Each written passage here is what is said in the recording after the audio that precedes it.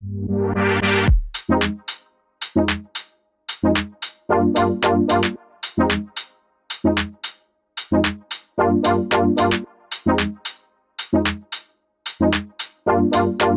you can't escape, bring the holiday destination to your own yacht. Let me show you a perfect place.